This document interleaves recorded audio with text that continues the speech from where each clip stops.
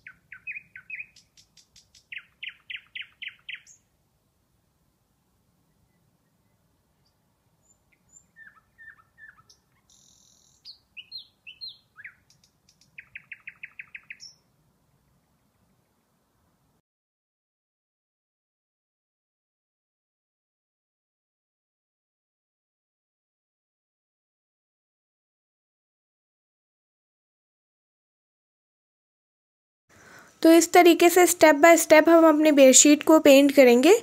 अभी मैंने डिज़ाइन का एक बंच पेंट करके आपको दिखाया है। और ये डिज़ाइन काफ़ी मैंने बड़ी बनाई है तो मैं आपको पार्ट टू में इसके और सारे फ्लावर को किस तरीके से पेंट करना है वो बताऊँगी।